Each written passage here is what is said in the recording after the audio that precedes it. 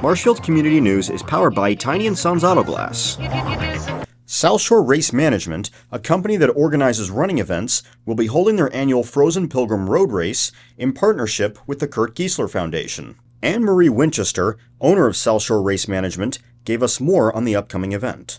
So the Frozen Pilgrim Road Race is um, a combination of distances, actually. It's a one mile, a three mile, and a five mile road race. And proceeds from the event benefit the Kurt Giessler Foundation for Youth Achievement.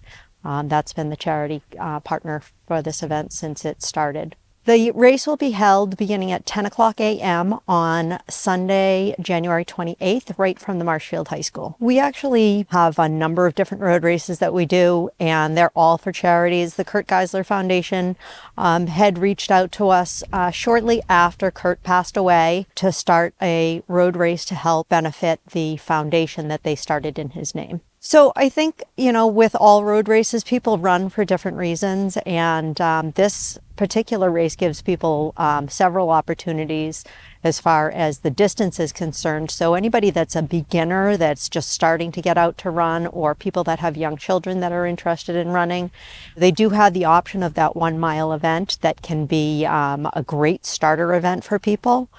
And then we have the three mile as well as a five mile event for people that choose to run longer distances. One of our goals for all races is to try to get people outside. I think it's good for not only for people to be out getting exercise and for you know people to be out doing um, healthy activities, but I also think it's a good way to show our community how much we support our charities. We do try to, like in this case, we, we try to keep all of the money locally so that we're helping charities that are in our own communities. The race itself helps people understand the importance of fundraising and what it can do to help your um, your community as well as your family, your friends, individuals that you might know, and individuals that you don't even know that you know you just want to reach out and, and try to help somebody out.